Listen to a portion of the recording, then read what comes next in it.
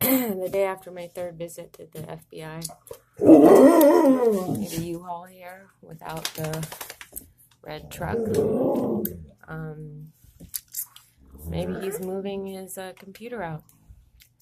That would be a thought.